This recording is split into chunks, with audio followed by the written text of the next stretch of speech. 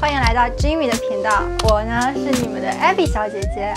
那么今天呢，当当当，就是这两台哈苏相机啦。你们的 Jimmy 小哥哥带着它去进行了第一次的外景拍摄，因为第一次嘛，再加上相机的动态范围。不是那么的好，所以拍摄出来的效果就有点差强人意，希望大家多多的包涵。同时呢，大家也可以多给我们的 Jimmy 小哥哥关注、点赞、弹幕、收藏加评论，支持他可以早日换到新的相机，升级一下他的设备，拍出更好的视频。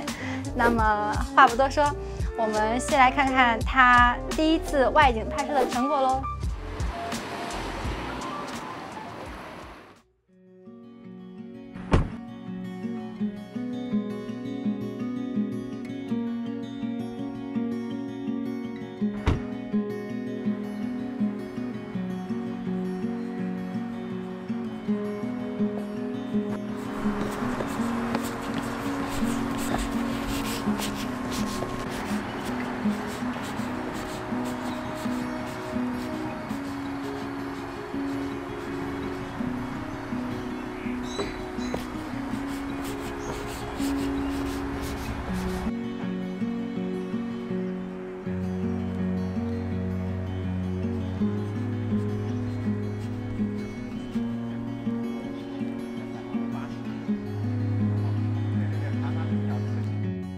OK，那么我在这边呢也是找到了一个还算不错的景观。我会先用我的富士呢拍一张正常快门下这个照片，然后呢我待会儿会根据光线环境来上一张六档或者是十档的 ND，再来对比一下快慢门拍出来的照片到底有什么不同。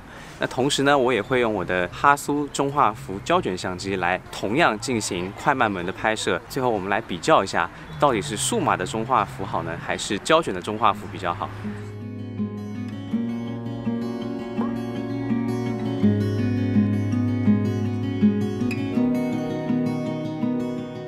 那在长曝光的时候呢，我觉得现代数码相机最大的优势就是你不需要去使用快门线，通常你只要设置一个快门的延时就可以了，这一点非常的方便。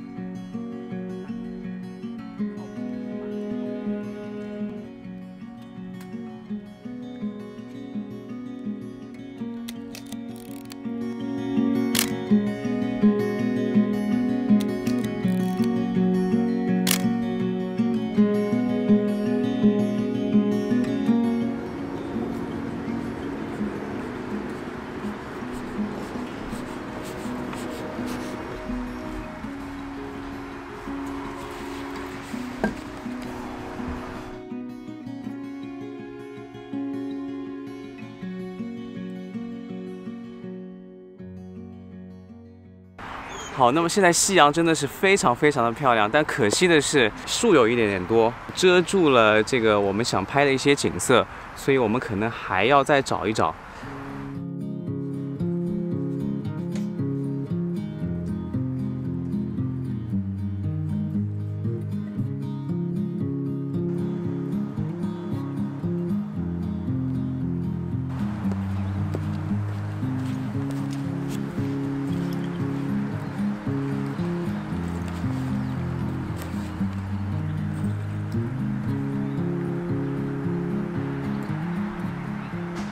OK，那么我在这里呢又找到了一个比较好的机位，待会儿呢我会先用我的富士 GFX 五十 S 去拍一张普通状态下的这个照片，就是不加 ND 滤镜的照片。然后呢，我会根据这个现场的曝光呢去选择六档或者是十档的这个 ND 滤镜，再做一次长曝光。接着呢，我会用我的哈苏再做一次同样的操作。最后我们来对比一下数码的中画幅和胶卷的中画幅到底有什么区别。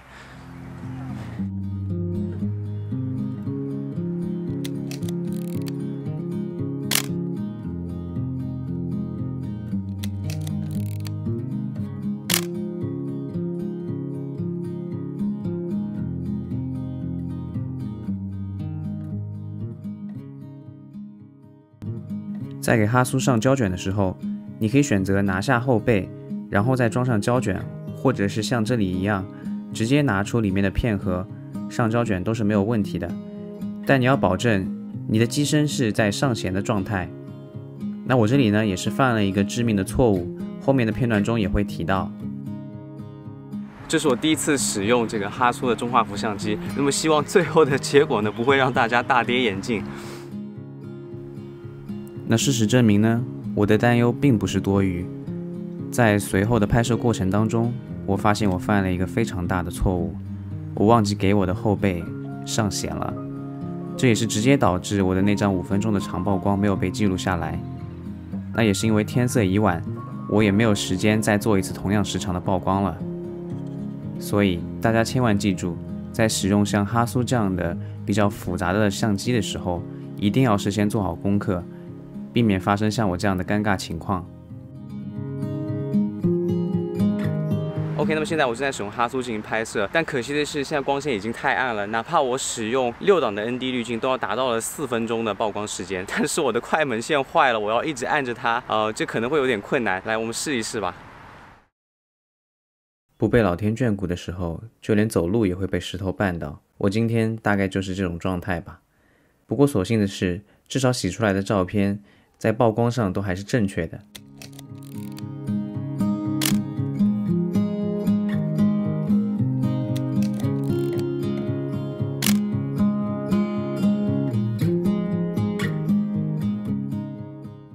第一天的拍摄，我翻车了。因为担心出不了好的成片，我决定再出去拍一次。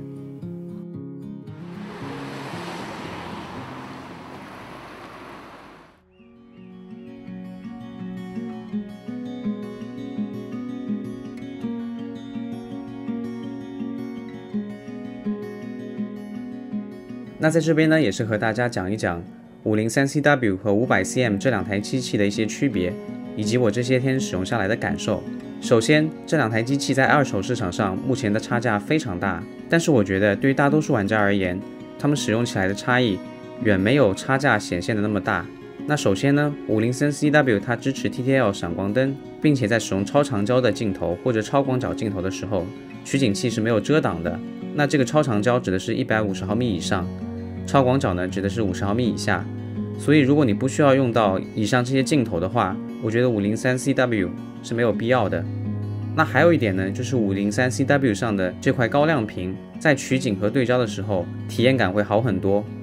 但是我们都知道，哈苏是模块化的相机，你完全可以购入五百 CM，然后给它换上五零三 CW 上的高亮屏，这样你使用起来的体验感就已经接近完美了。那其次呢，是老的 C 镜头或者是代替镀膜的 C 镜头和 CF 镜头的区别。那这两支镜头呢，坦白来讲，我觉得画质上并没有太大的差异，但 CF 镜头使用起来更为方便。因为它操作起来，在默认情况下，光圈和快门是可以分开调整的。而在老的 C 镜头上面，你需要按住镜头上的一个金属键，你才能对光圈和快门进行分开操作，否则的话，它们是同时调整的。所以最理想的情况下，性价比最高的选择是 500cm 配上一支 CF 镜头。因为 500cm 其实也有它的好处，因为它的腔内没有植绒，所以不会有 503CW 上比较普遍的植绒脱落的问题。这样后期保养起来也可以省心一点。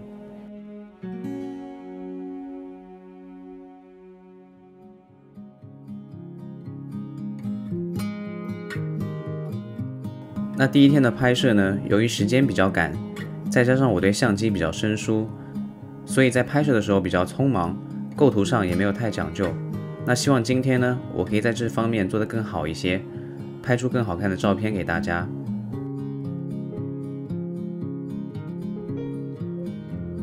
那我的构图呢非常简单，呃，我们可以过来看一下。那这个用哈苏构图的时候呢，要注意它的取景器里的图像是一个镜面对称的情况，也就是说，图像中的左边呢是实物的右边，在调整构图的时候要特别的注意。那这构图呢其实还是蛮简单的，基本上就是水面加上这边的一些茅草，然后和远处的山景作为一个远景。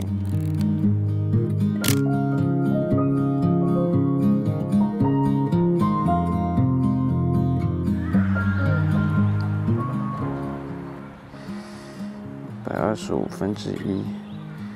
多一点点天空，OK，再加上这个十档的滤镜，再来一次。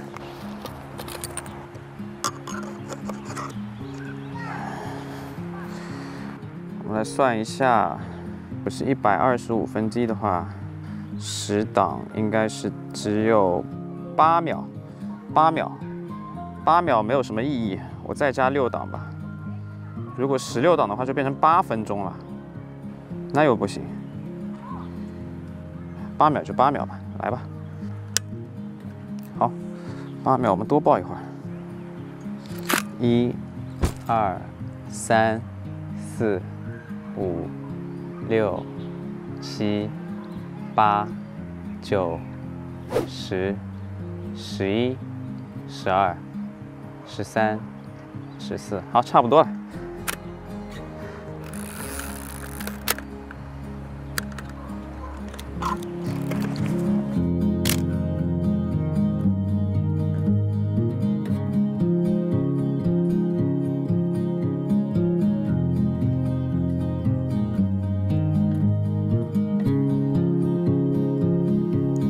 前走了几步，我又发现了一个不错的构图。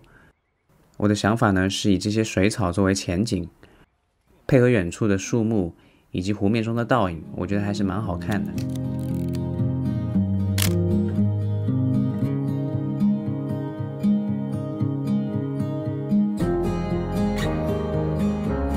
桥底下的荷塘水草作为一个微景观，感觉也可以拍一下。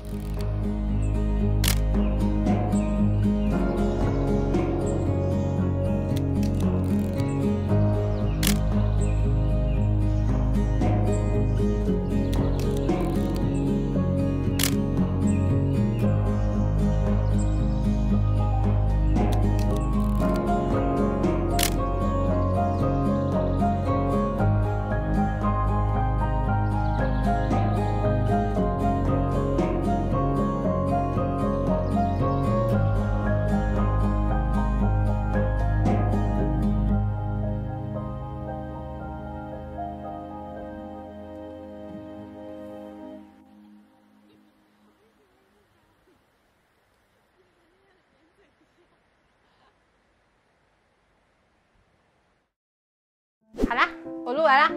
再录一次。